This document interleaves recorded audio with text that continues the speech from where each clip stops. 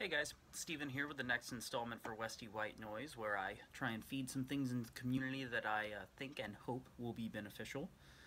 Um, I'm still getting used to this whole vlogging thing. I'm not too great at it yet, so uh, this time while I was trying to collect my thoughts for this, I uh, couldn't get the videos right. I just kept bombing and stalling and all kind of stuff. So what I ended up doing is I actually wrote everything down. Like you can probably just tell that the lighting on my face changed because my computer turned off because I have it in my lap. Because I'm just going to read to you my thoughts. That way I can cogently give them to you. Cool? So, the thing that I have had on my mind recently is uh, competition. I've actually had a very unhealthy and negative relationship with competition recently, and in trying to correct the issue, I um, have came across some things that I think would be beneficial for others. Um, I'm not going to share the whole personal story, but uh, I am going to share some of the things I went through and some of the thought processes and hope that other people can take some things from that. Number one, and this is actually a quote from Robert Royston, brilliant man that he is. There's no such thing as a dance emergency. This is coming from someone who, for the past 13 years, has now relied on dance as his sole source of income, meaning if I sucked at my job, I didn't eat. So, well, yeah, this has uh, been a pretty important part of the community for me. I still firmly believe in the idea that there is no such thing as a dance emergency. Our community and culture is about joy and the sharing of joy, and while I absolutely do think in some ways it is a necessity rather than a luxury, there are definite ways to make this toxic in your life, and overemphasizing competition is one of them. Speaking as a judge, our opinions as judges, while educated, are mostly just opinion. They're they're arbitrary in that they're related only to that certain time and space and dance that you're having at that moment. There's plenty of instances where I love someone's dancing, but I still have to place them last because of the dance they had. So there's no point in placing your self worth as an individual or as a dancer or anything off of the results you get into a competition.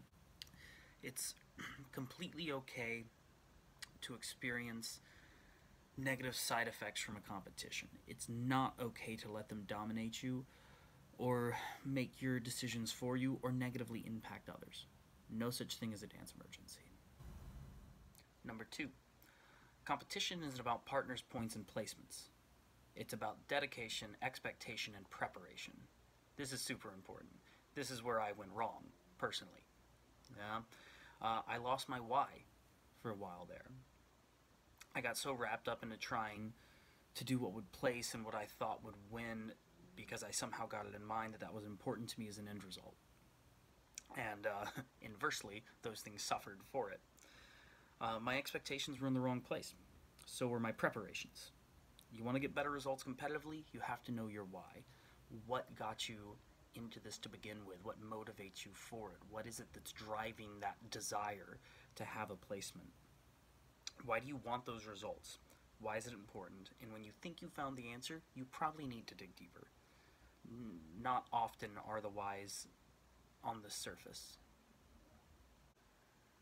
My competitions were an utter dumpster fire until I got back on track with this, remembered my why, and I started dedicating my energy there without any other expectations.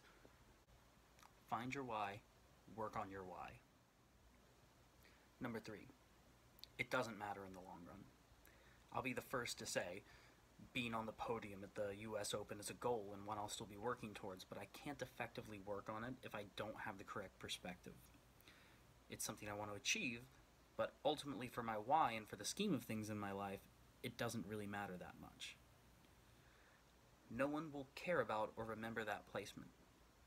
My winning the Open or placing in a contest will not make this community better for others. They'll be satisfying for me, for sure, and they'll be proud of the achievement, and residually, I'll have more to share to others along the way because of it, but it really doesn't matter. I'll try my best, but if I don't ever get that placement, it's not going to stop me from what does matter, and that's leaving this community better than I found it. No one's ever going to remember placements. Everyone and anyone will always remember how you made them feel. Always. Separate your goals from what matters without letting either deteriorate.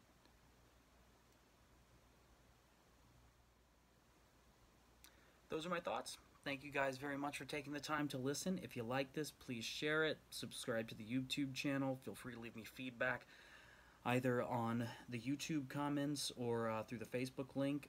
You'll also start to see my production quality increase as I get better at this. um, yeah, thank you guys very much.